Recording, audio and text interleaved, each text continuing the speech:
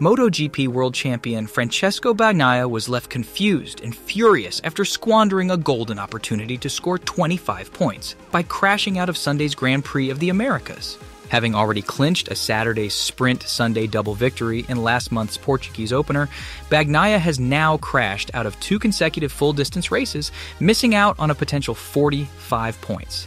Sunday's crash at Austin Circuit of the Americas occurred just as the Italian was on the verge of reclaiming the championship lead from fellow countryman Marco Bezzecchi.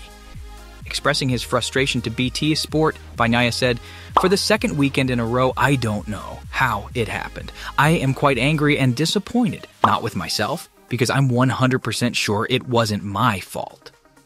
Bagnaia insisted that understanding the cause of the crashes was crucial. We have to know why it is happening. I did many, many laps this weekend without having any issues, and then in the race, just controlling, I crashed. Bagnaia said he was lucky at least that some of his main rivals, notably Honda's Marc Marquez and Ducati's Enea Bastianini, were absent due to injury in both Austin and Argentina, and so limiting the damage. Comparing the incident to his crash in Argentina two weeks prior, Bagnaia noted that something different had occurred with his bike. It's true that our bike is so fast, so competitive, but then if you crash and you don't know why, it doesn't help anything. Despite Honda's dismal start to 2023, LCR's Alex Rins offered a glimmer of hope for the Japanese manufacturer by securing its first victory since the 2021 Emilia Romagna GP last weekend in Texas. Bagnaia's back to back Grand Prix crashes have sparked concerns about his ability to learn from mistakes though he insists the bike is solely responsible for his tumble. Rins demonstrated a strong performance throughout the COTA weekend, but he faced an uphill battle to overtake Bagnaia in the Grand Prix. The dominant sprint winner and pole man were relentlessly pursued by Rins in the early stages of the main race, but the latter had to risk a bit to keep up with the Ducati. It appeared as though Bagnaia was on track for a Grand Slam weekend. However, on lap 8 of 20 on Sunday, disaster struck as he crashed out at turn 2. With his second Grand Prix crash in consecutive rounds, Bagnaia has given up 45 points and acknowledges that his luck amidst his main rival's struggles in 2023 will eventually run out. Ducati boss Davide Tardozzi's dramatic reaction dropping to his knees in despair upon witnessing Bagnaia's crash, spoke volumes about the Italian team's concerns regarding Bagnaia's mindset, especially in light of his series of errors in 2022. The champion rider emphasized his strong connection with his bike, saying, I have a lot of feeling with the front of my bike. I can push when I want, I can control when I want, yes, like yesterday. But today, just crashing like this was something too strange.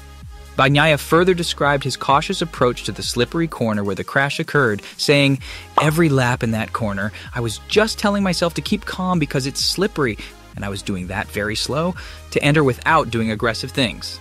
In a fascinating twist, Francesco Bagnaia asserted that the crash was 100% not my fault and pointed to his bike being overly stable as the culprit, resulting in a lack of front end feedback to predict when it might fold. Bagnaia mused, maybe it has too much of a filter because it's so stable. I feel unbeatable on my bike. Time attacks, managing the tires, yesterday's demonstration, everything was perfect throughout the weekend. My bike gives me immense confidence, but it's too stable. You might think I'm crazy, but I prefer more feedback to understand the crashes. I was entering more cautiously, trying not to crash or stress the tires.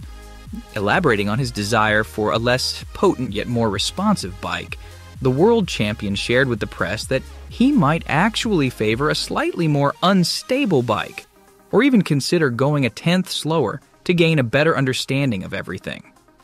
Currently, he finds it challenging as he feels invincible and capable of anything on his bike. Bagnaia was among the nine riders who crashed out of the Grand Prix. Many attributed the mishaps to shifting wind conditions and the track's low grip nature, but Bagnaia dismissed these explanations. Ducati now faces the challenge of bolstering Bagnaia's confidence while addressing the bike's issues in upcoming rounds. What do you think? Will Bagnaia and Ducati be able to find the perfect combination to secure more victories in the future? Will the team be able to restore Bagnaia's confidence and maintain their competitive edge in the upcoming races? Let us know in the comments section.